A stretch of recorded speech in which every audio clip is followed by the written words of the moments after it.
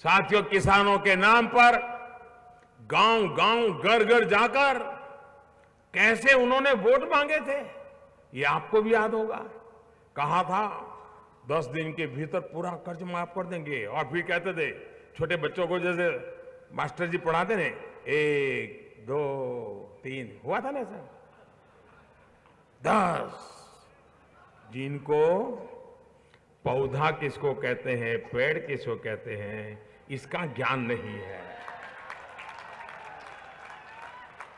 और खेती और किसानी के विशेषज्ञ बनकर यहाँ के लोगों से बड़े बड़े वायदे कर रहे थे।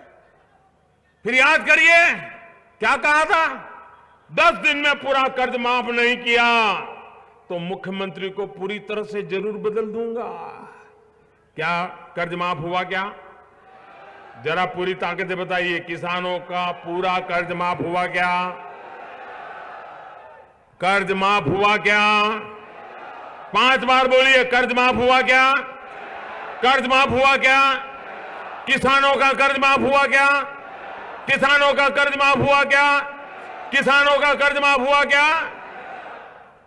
अगर कर्ज माफ़ी नहीं हुआ तो मुख्यमंत्री तो ज़रूर बदल गया होगा। क्या बदला है क्या मुख्यमंत्री?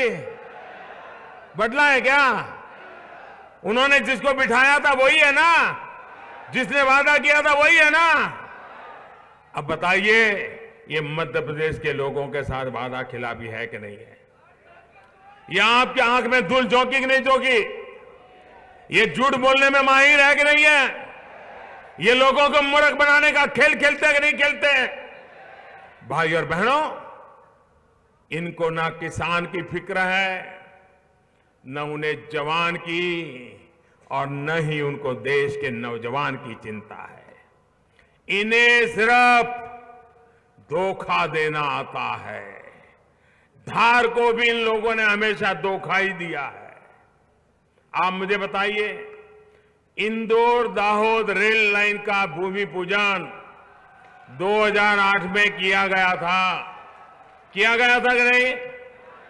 उसके बाद वो भूल गए कि नहीं भूल गए? वादा खिलाफी की कि नहीं की? आपके पीठ में छुरा भोंका कि नहीं भोंका?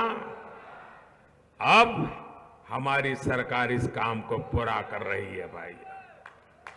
जब शिवराज जी की सरकार यहाँ थी तो विकास के बहुत से कार्य हुए थे। उनकी सरकार के जाने के बाद और कांग्रेस सरकार के आने के बाद अब मध्य प्रदेश की क्या स्थिति है? आप और यहाँ के लोग खुद महसूस कर रहे हैं।